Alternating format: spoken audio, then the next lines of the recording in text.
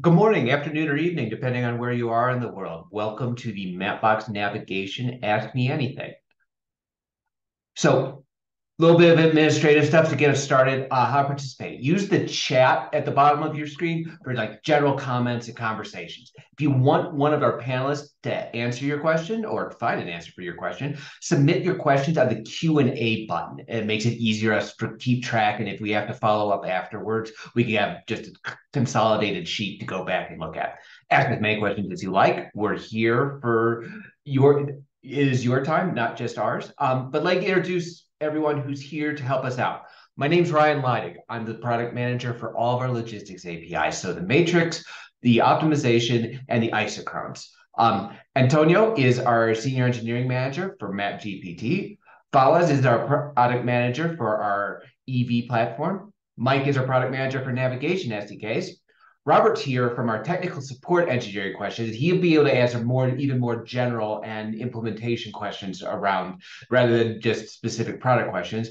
And Shrey is going to be not only being the senior manager for our navigation API, he's going to be helping me out filtering the questions and getting things through and to us. So I will leave that up for everybody to say. I believe we already have some questions starting. So Shrey, which one should we go with first? Yeah, we can take one there's one coming from Liam.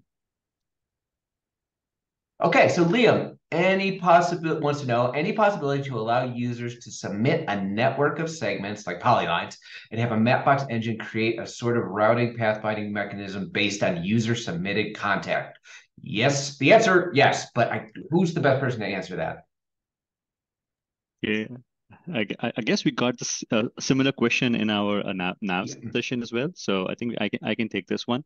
Um, so uh, so yes. So the good news is that we are adding more flexibility into our routing engine, um, which is the directions API, and uh, you'll be able to create very soon uh, more customizations in terms of areas where you want your vehicles to route to and the areas where you don't want to route to. So that means you'll have more control on the pathfinding mechanism, like the you, you, you put it very well.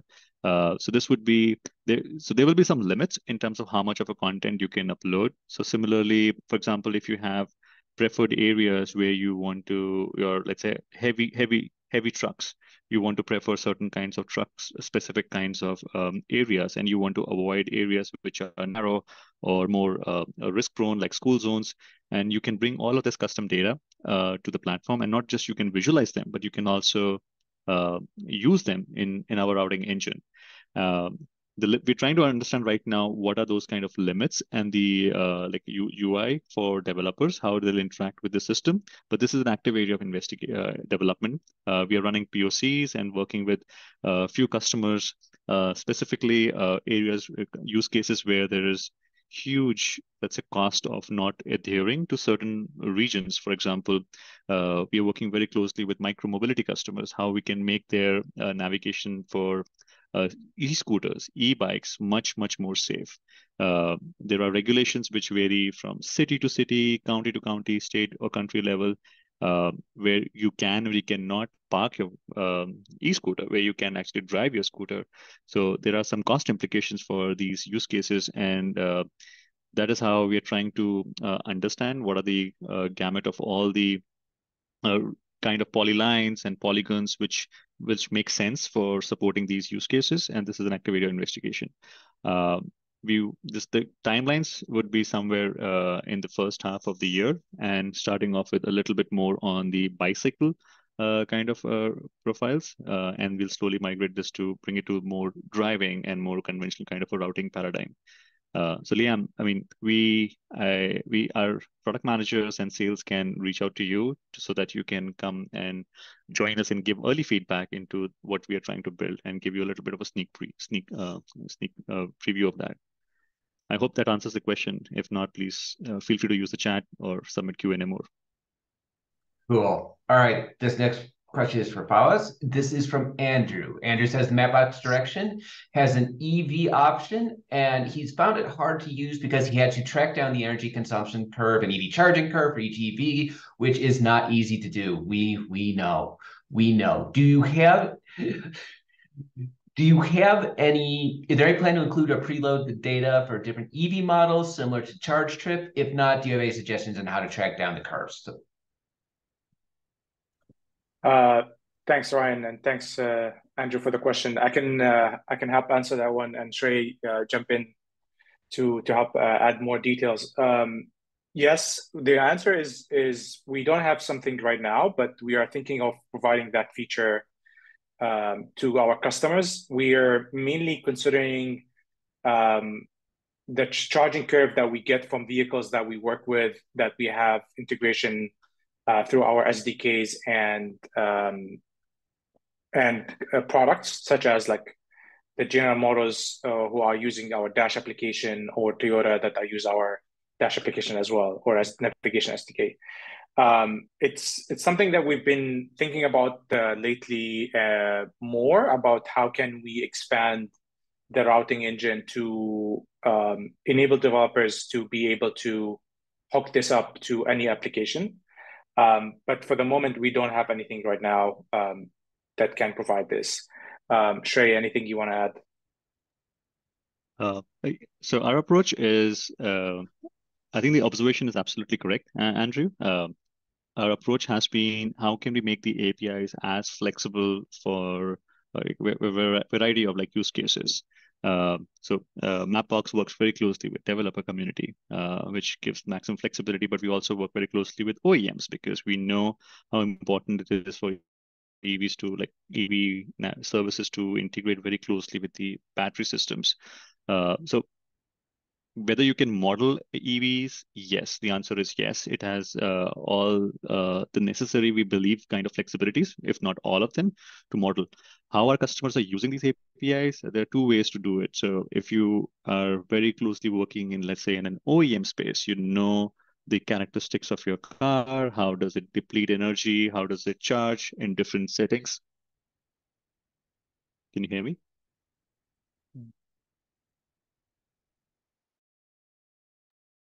Oh, your your video did freeze though, Shrey. Yeah, just building on on that, I guess the um, building on what Shrey was continuing to say is like, you know, providing that that data set like and I having... lost my audio. yeah. Can you hear me? Go ahead. Oh, sorry. Yeah. So, uh, yeah. So, so we have working with two sets of customers. So, if you know your battery system, you're working very closely with OEMs, um, either for them very closely or you are part of the OEM dev, dev community. You already have access to the specific models you're beginning to launch for this battery depletion curve, charging curves, depending on weather, temperature, and BMS systems. Uh, but if you are if you don't have access to those, uh, what our other what most of the developers right now are doing is there's enough uh, data public database of ev uh, vehicles available in the web which people are uh, sharing open source.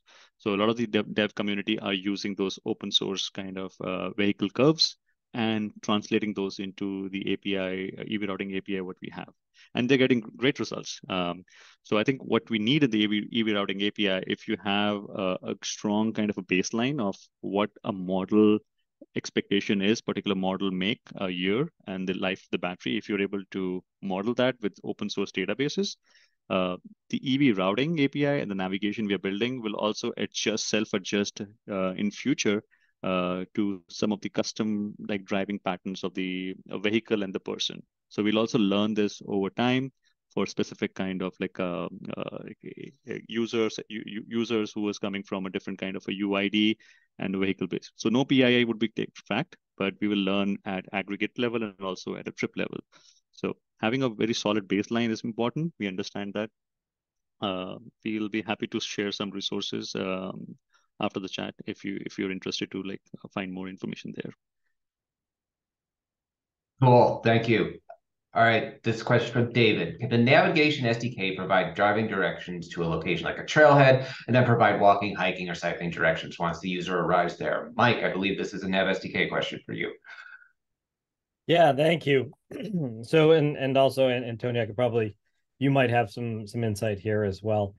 Uh, but to to get started, yeah. So the the, you know, you would have that that trailhead that's noted if it's on or right near a drivable surface and, and an actual roadway, then then providing turn by turn directions to get there is is no problem. Um, where it might be expected that the last you know hundred meters or so might be might be walked. Um, the now then the other question is, can you then provide you know maybe navigational directions through a trail? Uh, and that becomes a little more complicated. The right now the the driving directions are optimized for providing turn by turn directions that are most relevant for for driving uh, and for for vehicle on public road use cases. Um, once you get to the trailhead, then then that that becomes a little bit different how how we'd be navigating you uh, through that area. So um, I will, David. I put into the chat. We work with AllTrails, which is I think they're only in the United States, um, doing exactly this and it shows all the hiking trails and it show it's in their app and you can search by it they have a really unique uh, application that we don't usually do is that they use one of our isochrones apis and you can say hey tell me all the hikes or bicycle trails or whatever you're looking for within two two hours or whatever time you want. And it will return based on drive time. And you're able to share that with your friends like hey here's all the ones that are close by. Which one do you want to do today? So that's that's kind of a cool thing. I put a link to our showcase in there. We also from the the keynote this morning is decathlon. Decathlon does a similar thing in europe.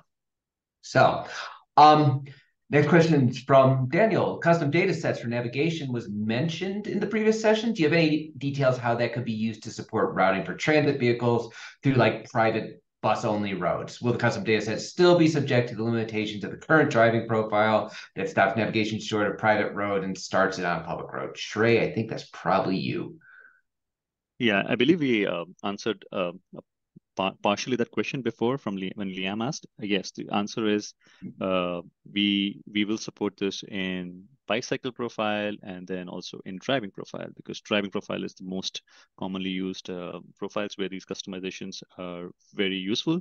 Uh, but at the beginning, what we believe is private roads uh, would be something will not be supported at the beginning. Uh, so for, for the next year, uh, we're mainly looking at uh, road road road networks, which is available inside Mapbox, which is publicly available and free to drivers. For private road areas, it's usually um, uh, more customers are able to provide uh, a visual representation of the uh, private road network where you can create like dotted lines and give information about this road is private. Uh, and those would initially this would not be supported, but we do have plans to how to bring this private road infrastructure also part of the routing influences, especially we understand for commercial fleets. And this area, this this kind of information could be like very, very uh, helpful. Um, yeah, I, I, hope that answers cool. the question. Thanks, Shrey. Um, Tina's asking, is it possible to change values like contrast colors in an area around an object to illuminate or highlight the area around an active route in navigation? I think that's probably a Mike question again.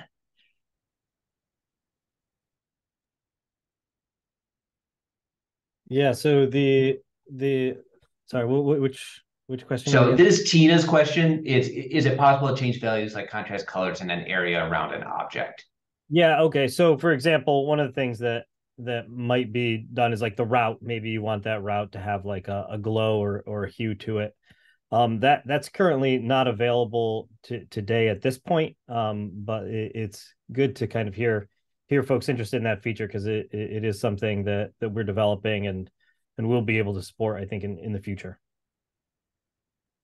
Cool. And this is also for you, Mike, from Philip. They're interested in using Mapbox 3D Live navigation as an addition to their software. They're already a Mapbox user. Thank you. Uh, is there a timeline for this, or is it a private beta, or when when we think we're going to see this roll out? Yeah, so uh, th- this is in uh, private beta right now uh, with the with the Dash SDK, um, and I, I, think this is something that, that we're going to be seeing making more available in in the near future.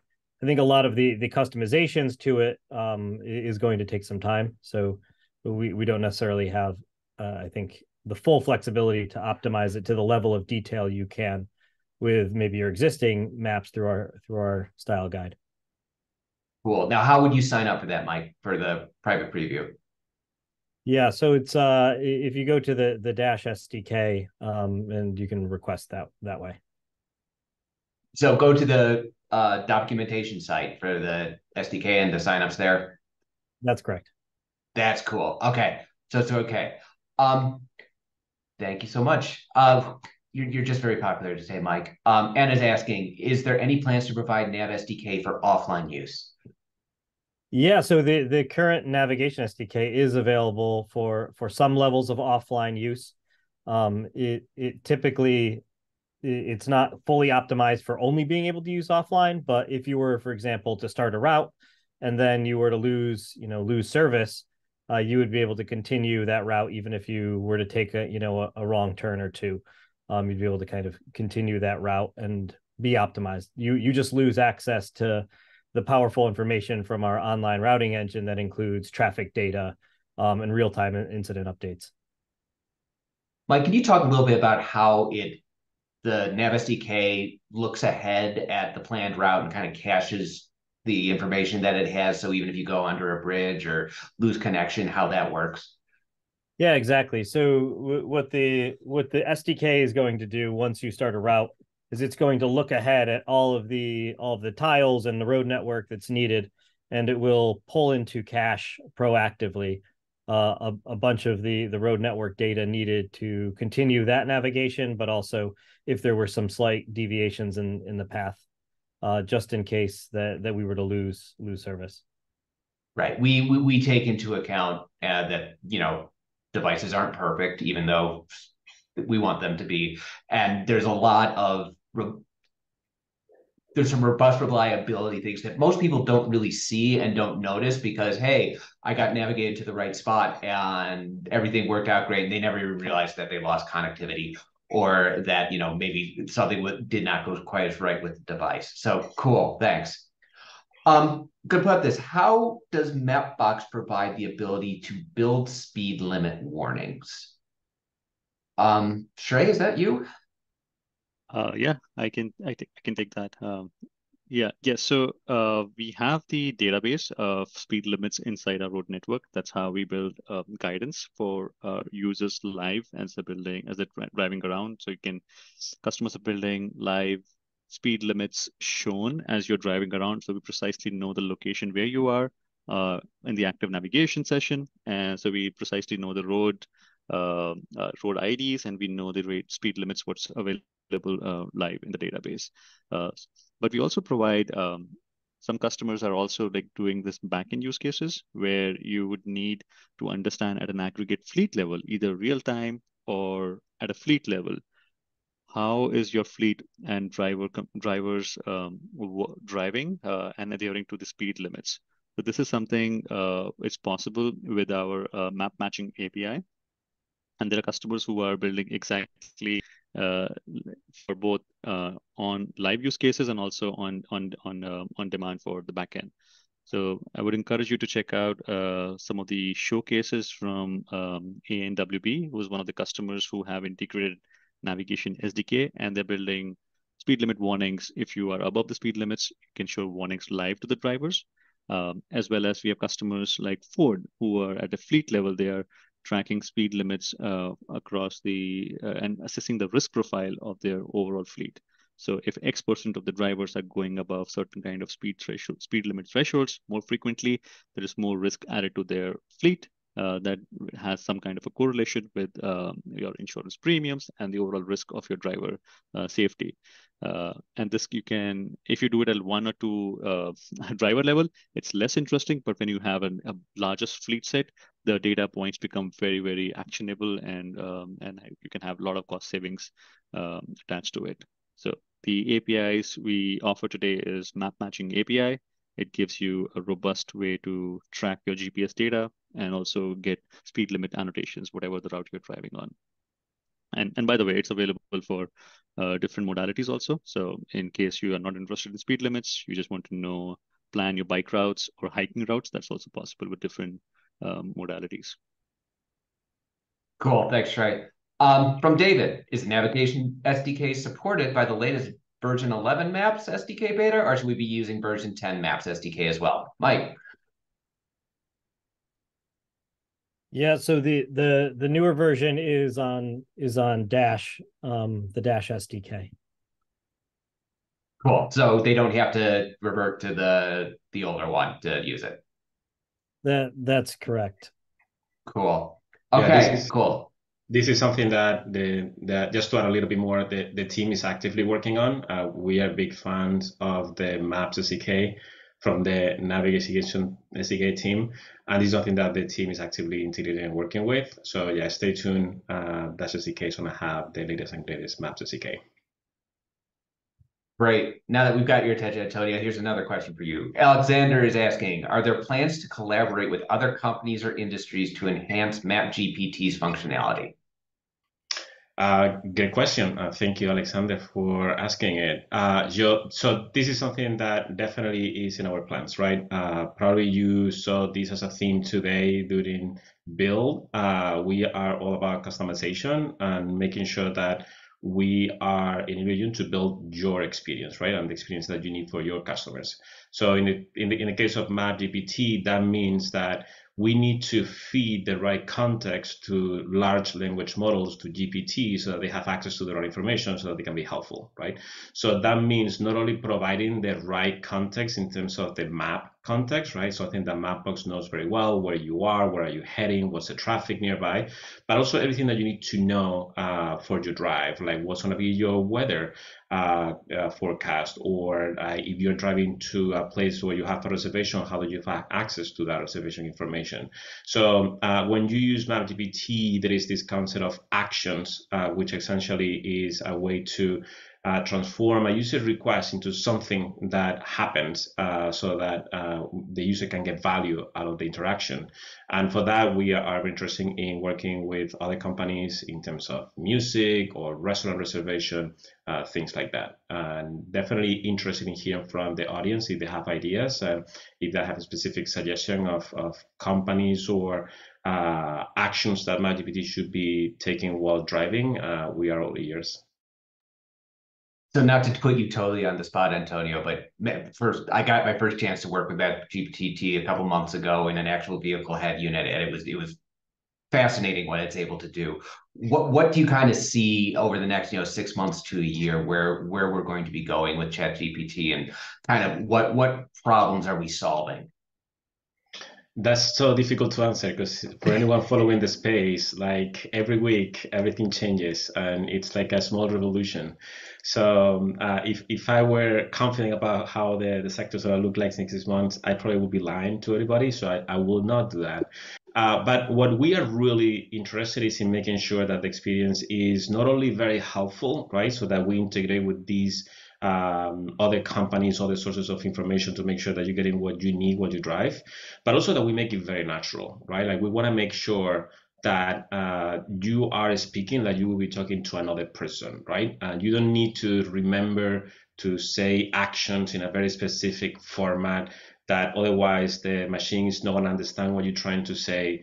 Uh, we wanted to make it very natural. We want to make sure that uh, the responses are also very natural, right? Very, very low latency. We want to make sure that it feels like a conversation. And then something super important is the quality of the data. Uh, anyone ha- that has used um, ChatGPT or one of these large language models, probably they have seen that these they, they don't have access to real-time data. Uh, they have the concept of hallucination. Some models are uh, trained with very old data. So one of the things that we are investing in Mapbox is making sure that uh, we have custom models that have been uh, fine-tuned for these use cases, but also that we feed these models the right data sources so that you don't see hallucinations, right? So if, you, if the if the Map GPT product is telling you, hey, uh, there is a good restaurant downtown that I recommend you for Chinese food, that the restaurant actually exists, right? And it's not a hallucination. Cool. Thanks, Antonio. Um, Ozzy's asking, oh, data question. How does Mapbox detect road closure and how fast a road closure can be detected, like an accident or a catastrophic emergency? Does the nav library get this information in time to plan the route accordingly? I think that's right. Yeah, that's a great question. Uh, that's how routes are safe and how we uh, create reliability. So there are two sets. So inside Mapbox, there are two sets of uh, what we call as closures. So one of the closures is more uh, a little bit, we call it long term, like seasonal road closures, which happens, let's say, every year. This road is blocked because this is mountain road, and these are closed from December 15 to, let's say, January of 25th. Uh, we have that data, and we use a variety of uh, vendors and data sources publicly available and we have automated uh, pipelines who are data pipelines who are always processing these um, closures uh, to make sure the, our data is always up to speed. So 90, 95% of this stuff is automated. Uh, it's always running, always live in Mapbox, let's say um, cloud infrastructure, but there's always, uh, but we don't stop there. There's always humans in the loop to make sure the data what you have and the outlier of information. We don't want to create a closure which is like a phantom closure and makes you avoid a road which is absolutely fine. So that's where we have this human based systems and tools inside mapbox where there are hundreds of uh, folks who are whose whose core job is to make sure the data you have the map data is always live fresh and accurate. Um, and this what this means is we are pushing updates to our road map data on a daily basis. So thousands and thousands of updates at a global level. Uh, they get pushed uh, live every day. And once they're live, it, it becomes immediately available in any of the nav services you're using, either on visualization on the maps or you're actually using routing or navigation SDKs. Um, so that's on more static side. Uh, but we believe that's not enough because you also have this live uh, constructions or live uh, incidents like accidents would happen anytime. Um, similarly, we have a, a, a, very automated kind of pipeline where we use uh, data from our uh, partners, uh, which is, and we have different partners at different geographies. Uh, for example, in US, we work with a partner who aggregates data from five or six vendors. And same thing with, let's say in Europe, we also work very closely with certain states, certain countries, uh, government agencies who publish the live closures, live incidents, even if there is like a a, a pet, a dog on the road, uh, we, we get that information if it's available in and it's relevant for that kind of a geography, uh, because that leads to like lane closures and things like that. So this is available through our live traffic data feed. Uh,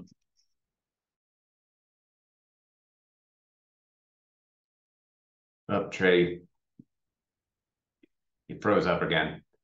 So what he's kind of getting to is that we do we collect. I think correct me if I'm wrong, Chris. This might be or Robert. You might know better. It's 700 billion traces a week, I believe, and we use we update our live traffic um, every five minutes, so 12 times an hour. So all of a sudden, if we see one of these traces on a road segment, all of a sudden go, you know, stops because we can we anonymize all of our SDK users and everyone who's using it. And so we can see we have a general feel of what's going on, like within a municipality.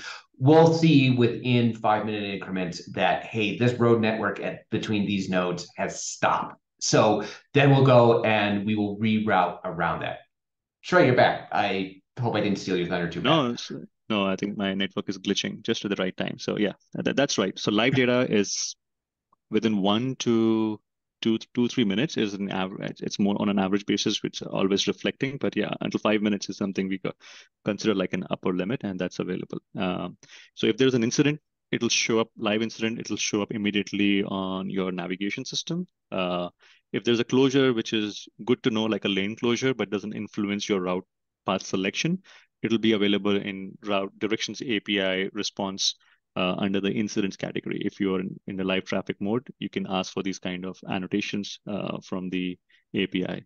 But if there are closures which impact, let's say, your route selection, if the road is closed, then automatically, if you're in a live traffic mode of the driving profile, then it'll those roads would automatically be avoided. And same thing, uh, if you are using just visual representation of the map traffic map, uh, you can also pick and choose what kind of incidents are relevant. You can customize in our Mapbox beautiful maps uh, what makes sense for your use case. Uh, yeah, so this is uh, fully supported, uh, and this is global cool. coverage for us. Yeah, we we cover like literally the entire planet with very very few exceptions, and it's all one of the one of the unique characteristics about Mapbox is that the only people who use Mapbox data are Mapbox to improve our products and you as a customer. We don't fuel an ad engine. We don't go out and say, "Hey, we have all this demographic data." We have we have isolated and anonymized and pretty much we jam it all together into these. Even our traffic data product is not just one or two; it's thousands and thousands of traces just averaged into one. So we we take privacy very seriously. We understand that a lot of our customers work in very very competitive markets where the margins are thin and the ability to interact and getting their, their what what their special sauce is is the data that they have on their customers and how they use that data. And, and we respect that we protect that and it's just part part of our the dna of what make mapbox work. So jordan is asking is there any options to allow mapbox directions api to limit the roads used to route generation to follow certain compliances specifically hazmat HRCQ. I haven't heard that one. HRCQ is a new acronym for me and so the route to the user would be guaranteed to follow such restrictions. If not, this is something you plan to implement. I'm going to start out first, and then I'll pass it over to Shrey um, for the specifics around. The answer is kind of we then the reason we have that is hazmat routing specifically is not got the data is not governed by like one place or two places or even a dozen places. There's some depending on what kind of road you're on and where that road is located it might be the city it might be a state that owns the data it might be a city it might be certain parts of the city that own that data and it's not a consistent and easy to digest and very it's very difficult from a liability standpoint as to if we route you down the wrong road how how does that work from the end user? So we we have right now it's it's part of the things in my roadmap that i really want to do but it's one it's it's a harder problem than he thought simply not because you know it's like hey we can't ingest roads because Shrey will tell you that you know we can we can exclude motorways, we can exclude speed limits, we can exclude areas, we can do all kinds of stuff like that. But hazmat in particular is a data problem that's really a tough nut to crack. Um, Shrey, you want to talk a little bit more about like, you know, vehicle sizes and the way we can route specific vehicles around? Yeah, that's right. Some of these characteristics are yeah, underlying to like your like vehicle type, like Ryan was saying exactly. So if you are a particular kind of a vehicle beyond a certain size limits. Uh, in Directions API, what our customers are using is they'll specify their height, weight, uh, width restrictions as well. And in some parts of the world, width plays a big role. If you are a wider kind of a vehicle and there are alleyways which you definitely want to avoid. Uh, so those are those are available already in the Directions API, and our customers are already running live uh, the production apps. And Roadtrippers is a, a very good example. And one thing I'll also share with uh, like how some customers are doing uh, hazmat uh, restrictions is uh, usually those are not too many depending on uh, how like how big of a region you are operating your fleet and your use case is. Uh, some customers what they're using is this point exclusion which um, like you can specify certain points like tunnels or specific intersections which you think are unsafe or not you're not supposed to enter those road road categories. Um, the data is a little bit disjointed, uh, what we see, and we're trying uh, very hard right now to get to a point where all the data like hazmat and tunnels they become so uh, well cleaned up inside mapbox so we can offer it to all customers but until we do a lot of the customers are using very specific uh, data sets from uh, certain agencies or from their own driver feedback pool you can use point exclusions. It's almost like a version of bring your own data custom set inside routing. And uh, even if you have like few dozens of hazmat areas, which are like the most probable uh, problem areas, you can very easily bring it to the routing engine. Uh, and these are all like real-time API customizations. So you can also build a logic around uh, some customers are using, hey, if you are in certain parts of, let's say, states or countries, these are the set of like hazmat restrictions are what relevant and they use in routing. But if you're in a different uh, country altogether, then you can uh, pick and choose uh, and you can customize this through your own cloud or through your own uh, application. You can build those kind of uh, like uh, smart smart logic. but yes, we do plan to bring all of these data layers like out of the box like, soon in the roadmap. Cool. So this question is for Fawaz. I saw the launch of EV Charge Finder API. What information does Charge Finder API provide about the EV station? Thanks, Ryan. Yeah, so we've um, we've been working on this for a while, and we're happy to to launch this API to help EV drivers and, and developers to build um, solutions that are enabling EV drivers to find charging stations uh, around them. So we're um, working with multiple CPOs or EMSPs or aggregators across um, across the world in, in North America, Europe, Australia, New Zealand, to provide uh, live data about EV stations. Um, so we have address, uh, location address, uh, opening hours. Um, is it accessible for drivers or is it pri- privately part of a, a, a community building or uh, an office building? Um, so we are um, providing information about the charging speed, plug types available, um, compatibility with vehicles, as well as price um, of the station, but mainly focusing on uh, making, as as Shrey was mentioning about the freshness of the data. So we're updating at the live location of that station. Is it operational? When was it used? Uh, uh, how many uh, plugs are, uh, connectors are available at that moment? So really focusing on giving the user the ability to find stations around them um, with live availability uh, that helps them select which station they want to go to.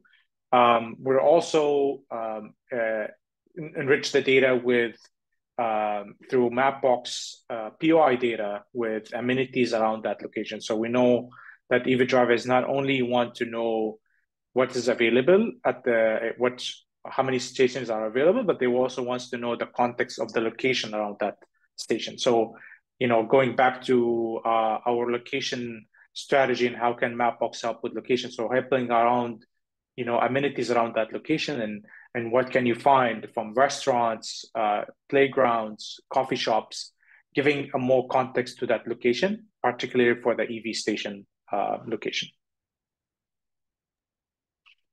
Great, thanks. All right, Antonio, is voice the only way to interact with MapGPT? No, it isn't. Um, one of the things that we envision for MapGPT is that it definitely enables uh, natural language interaction. And when we think of nat natural language interaction, we normally think of voice, which is definitely very helpful when you're driving. Uh, when you're driving, you don't want to keep uh, you, you want to keep your eyes on the road. You want to keep your hands on the wheel, right? You don't want to be distracted by the map or the app that you're trying to interact with. So uh, definitely voice is a very natural and safe uh, mean of communication with MapGPT, but MapGPT is also supported on mobile devices, not only in auto. So that means that if you are building, for example, a companion app for an uh, for a car or simply a standalone mobile app, when you are on mobile, uh, voice still remains a very natural way of interacting with MapGPT, but also typing uh, in form of a chat mode in terms of text mode is also important. That is also supported.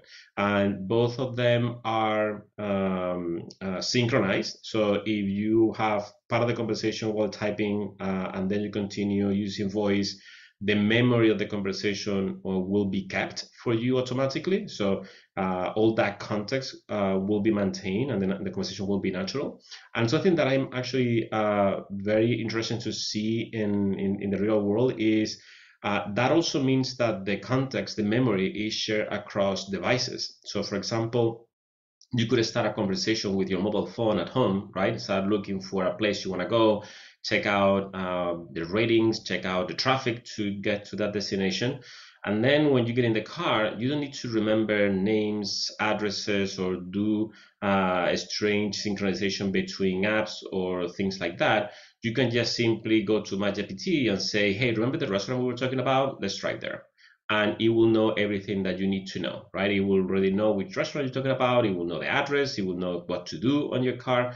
So yeah, we see this as a, as a natural way to not only interact with MapGPT, but interact with the product across devices.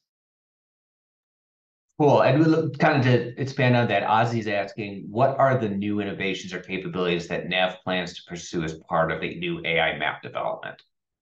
Yeah, when we're talking about uh, MapGPT and, and the AI map, I think that step number one is making sure that all the map context that Mapbox knows really well and that is available through the tooling is available to AI, right?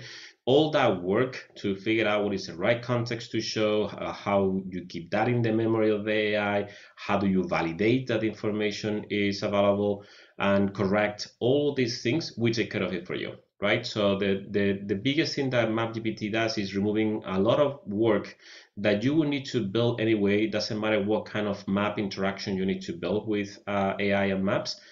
Basically, all that planning work, uh, MapGPT takes care of, right? And it does it using the latest technologies in terms of AI, both for large language models, but also for voice generation and, and speech to text detection, right? We are using new models that are being created to make sure that the voices are very natural, right? And that the interactions are very low latency. So I think that's the, the step number one. Step number two is actually hearing for from people here in this audience, right? Like right now, MapGPT, uh, if you have been seeing uh, the, the announcements and you'll be looking at our website, it's available today, right? It's, in, it's available in private preview.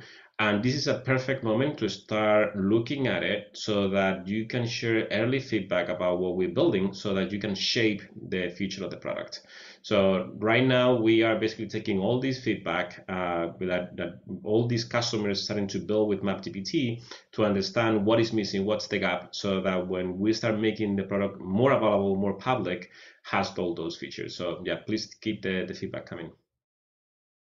Cool, thank you. So next question. In Isochrone's APIs, besides the recently released Depart at, what other features are we expecting over the next year? Cool. Actually, I get to answer a question.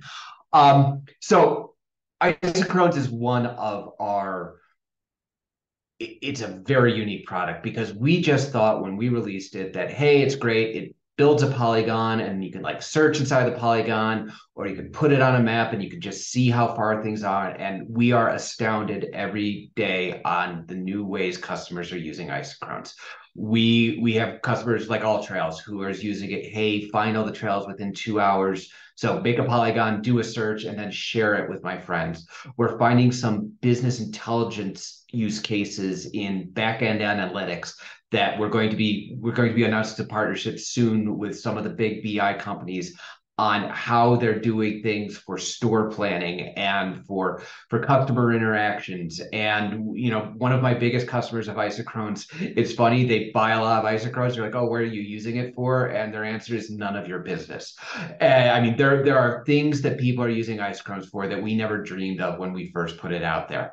So one of the things we first did and that's why it was depart at and depart at is a something that's been asked for for a long time. It uses Mapbox's historic traffic over the past 90 days. That the thing that I was talking about earlier about you know collecting road traces and understanding on a five minute level basis how traffic and the range changes based on historic traffic conditions. It's so you can start planning. Hey, if you're for instance, a coffee shop chain, if it's probably your busy time is morning rush hour. And the morning rush hour you need to know how far across you know how far away so that you can always hit 80 or 90 percent of your your addressable market within a municipality. And at very different than the afternoon. Yeah, three o'clock in the afternoon when people are getting a different coffee break, how the traffic works out. So the next kind of things that we're looking, we and our customers came to us with that. That was not something we thought, you know, good enough was good enough using typical traffic. And because of the power of a lot of these analytics and BI platforms, that it goes, it's like people are coming back. Yeah, typical traffic was great last year, but we've gotten our models down so specific that we want to talk minute to minute, not just day to day. So that was our first one. Our second one of the ones we've also been asked very recently is avoid motorways. And one, if you were in the directions keynote or speak a few before this, you one of our customers is Picnic. And Picnic, those little electric vehicles only go 50 kilometers per hour.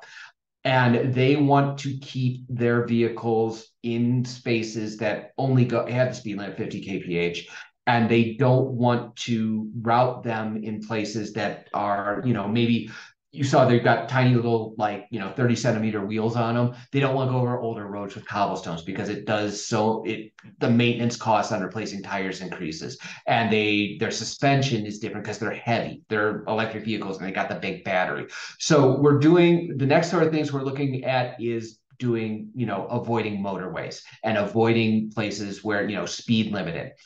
Um, also EV routing. And that's going to go into matrix as well, because we're, as I said earlier, 40, you're seeing a 40% total cost of ownership within for vehicles that are electric. Now, just from personal experience, from when I had to manage a vehicle fleet as a logistics manager, we were, if you could shave, you know, 20 cents off of a daily vehicle usage, you are getting promoted. 40% is something that is a number that is hard to describe how this is going to affect the the logistics just the entire industry because your whole cost calculations are going to change dramatically. Your whole ability you know in the past you would say hey eh, you know every 6000 miles we're going to have to take a vehicle off service for one day to change the oil.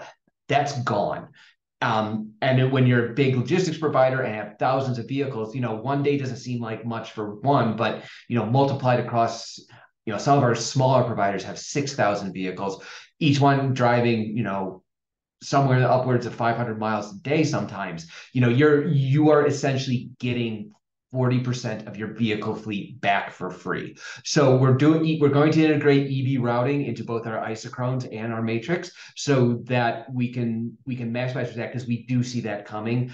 All of our all of our logistics customers are electrical is not just you know it's wonderful for the environment it does great things as far as vehicle dynamics but the real end of the day it's this incredible cost savings. So those are the two big ones coming up. The third one that's kind of smaller that we're seeing is people want to avoid tolls. I don't blame them. I don't like tolls either. But it's but what a lot of people is like, hey, you know, we this is a cost reduction thing. As I said, you know, if you're if you're saving 20 cents a vehicle per day, sometimes that that's that's a major achievement. I never paid a 20 cent toll. They're all more expensive than that. So there is a lot of our our customers are using models that are not just give me the fastest route, not just give me the shortest route, give me the route that is the most economically viable. So those are the three big ones we see in the future: avoid motorways and and uh, speed limits, avoid tolls, and EV routing. Cool. Thanks for that question. So David's asking, what's the best way to get support for adding navigation SDK to your existing app? Mike. Yeah. So the the best place you could start is if you wanted to start playing around with it, you know, today, right now, you could go to the to the SDK page and download the the navigation SDK and look at the docs there uh, to get to get started. Um, if I, I think that that that should should get any developer started on on this. Uh, and if there's any questions, then reach out.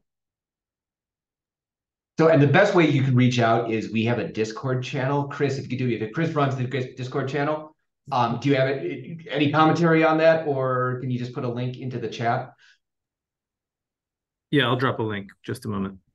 Outstanding. Thank you so much. We monitor that Discord channel pretty pretty regularly. I I will I will admit my guilt right here. I don't get I don't look at it as much as I should, but Chris will always and his team will always push it to me. Uh, they'll hit me on like, hey, we've got a question that we can't answer. And you've got guys like Robert who are in there who can a lot of times will be able to answer your questions right away.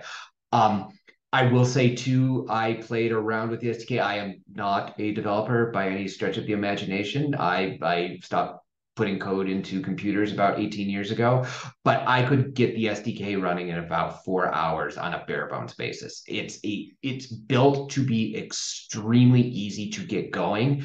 And then once you've got it going, extremely flexible with all the different parameters you can adjust from, you know, map colors all the way up to, you know, avoid motorways and how how many times it refreshes the route for things. There's there's all it, but getting started is not the hard part trying to figure out because most of our developers who look at it are using it as like I didn't know we could do all this stuff, and now we're overwhelmed by choice. One thing that I would add, uh, and, and, I think David was asking also uh, about what is the, the, the best way to start, even with an existing app. Um, I recommend you to look at what we call the drop-in UI in Navigation SDK. Uh, that is definitely the easiest way to start. Uh, this is something that is available across iOS and Android and it gives you a starting point very quickly. And it should work with a new app, with an existing app. and essentially it takes a lot of decisions for you at the beginning, right? So you don't need to think about too many things when you are thinking about the basic experience that you want to do in your app, how, how it integrate with your app. And then later, if you want to go a lower level and start changing things, you can, right? But drop-in UI will, will get you set up very quickly. Great. Okay, another EV question for Fawaz. How does EV routing API provide battery estimations? Yeah, I, I can take that one. That's okay. Oh, okay. Uh, yeah, so uh, we did discuss discuss about EV routing doing multiple things. One of them is uh, that foundation is like range prediction. Uh, so rather than using historical trends of your average energy efficiencies, we what we use is forward-looking energy uh, depletion. So what is the road ahead? How does that look like? How are the live traffic conditions? Uh, is there elevation and topography changes which are relevant for consumption profiles? For example, if you go if you're stuck in uh, traffic, um, you're not expending as much energy in EV versus you would spend more on ICE. Uh, this is the data point we have. And same thing if you're running very on high speeds roads, um, usually EV efficiencies goes down a little bit uh, than compared to our ICE counterparts. And same thing with elevation, you go up, you deplete at a much higher rate versus you going down. You some most of the EVs are able to recover the energy back, and how much that recovery happens depends on models. That's also API can also accept that as a flexible parameter to do so. Um, if it's okay, maybe I can uh, do a quick screen share um, and see if uh, I can give add some visuals behind what I'm saying. Great. I, I hope the screen should be showing up. Uh, so this is one trip. Let's say we are in US. You're going from you're doing a like four hour trip. It's like a long trip, longest trip. You're going from Washington D.C. to somewhere in New York, and this is your regular route. Uh, what if you just switch to um, uh, electric uh, electric vehicle? You can see automatically you get two things immediately. You see the color code color lines change on this route line, and what we are demonstrating here is just one click of a button. You can go and play in this playground uh, you see you start green, you have much higher energy curve. And then as you go uh, down uh, the route line, you see your energy depletion curves change. And this is factoring in all the right, uh, right kind of like road traffic conditions and topography. You would notice there is a bump in here, and that is uh, effectively showing you like there was a charging session here, and there was one stop automatically added by the EV routing API. So it gives you full prediction of where are the areas where you'll be like low on uh, energy levels or maybe sufficient depending on what are the user preferences and you can customize different uis uh, very easily. So this is the case of let's say we have added some presets. These are not specific to models but just to get you uh, have quick access to the playground. Um, chris here who helped us build this kind of a playground for us um, in this call. So you can see for sedan like a 70 kilowatt battery you can uh, you can model it's like a pre-modeled curves for consumption curves your charging curves you can see on your left hand on the screen it's already preset. So you can play around. And if you have to change these values uh, free to take a, take a look at the documentation and change those. So for example if i go from a sedan which has a higher battery pack to a, a hatchback which is smaller you immediately notice the uh, the number of charging curves changes because there's not enough charge to make the trip with just one stop. And you can now see which are the most efficient stops along this trip. And these are coming from a pre-ingested data which Mapbox EV platform team has on all the stations around this area. So you can create these kind of beautiful curves if uh, if it helps uh, visualize how the trip is going to be, uh, behave for the trip for the driver take another example here. Uh, you can also create, uh, you get more information about, let's say, sometimes user don't want to plan that trip um, uh, from, coming from automatic systems. User wants to have a little bit more control. So let's say that you're in uh, Brussels to Amsterdam. Again, it's like a short, longish trip, medium long, medium long trip. You go, let's say, in electric mode. I'm trying to simulate here without adding any stop, just to understand how my range is going to look like. You can see here we you can create these kind of visuals. Uh, this is just playground. You can create visuals. Hey, exactly where you're going to run out of charge, and likely where you would need uh, some of the charging uh, stations to be picked up. So you can surface the stations around this area. So you have more of a guided experience for uh, some of the users who would want to have more control. Maybe they want to have uh, a, a, bite at the restaurant while they're having charge uh, charge of charging their vehicles. So you can play around with these kind of information availability availability uh, in the route line and live station database, and you can create these experiences very easily from the API. Uh, so uh, if I simulate, let's say I do need a stop here, uh, you can see here uh, uh, that it also becomes available um, in, in, in, real time. But if it's also possible that if you have a larger battery pack, you probably don't need to have a stop at all. So you can see here a full charging curve. You can tell the user, hey, by the way, you'll run, you'll be able to reach to your destination with sufficient charge, but it's not enough. So it's up to you if you want to charge, uh, take a stop or not stop. And user has all the information available to make those kind of decisions upfront. Great. Uh, um, I do want to thanks, Chris. Um, I appreciate you dropping that link in there. I, I, I do want to point out that a lot of our products have playgrounds and demos built into them. Um, isochrones and optimization, I know off top of my help head as well. And I know they've got like map styles over on their size and all kinds of things like that. So, and we also have, if you don't know, a absolutely generous free tier. We are a developer first company. We believe that you need enough flexibility to build your products and understand your products to before actually going to prod and we we understand that and give you a lot to play with so don't hesitate if you don't already to to just go and use our your free tier it's it's plenty to get you started um even though some of our small applications are still they're they're using free tier and one day when they grow up and become the next fang we we will be right there with you um new question does chargefinder api support charging session payments uh who gets to answer that I can take that one, uh, Ryan. Cool. Yes. So we do um, support payments. Um, we can work with uh, numbers of the payment uh, processing providers, like uh, who can provide a capability for us to hook up our payment platform. Um, and we also support uh, providing like a wallet service for customers and developers who want to build an application that supports payments and charging stations uh, um, uh, payment for for the vehicle or for the drivers. Um, we're focused in in North America and Europe markets so far, so we have uh, availability of major um, stations and major networks that uh, supports uh, payment. We can also remote start and stop stations sessions for charging stations. Um, so that's something we can help you with if you're uh, interested, and uh, happy to hear from you on, on that topic. Cool. Thank you. We've got time for one last question. Does MapGPT support non-English languages? I know the answer, but I'll let Antonio. It does.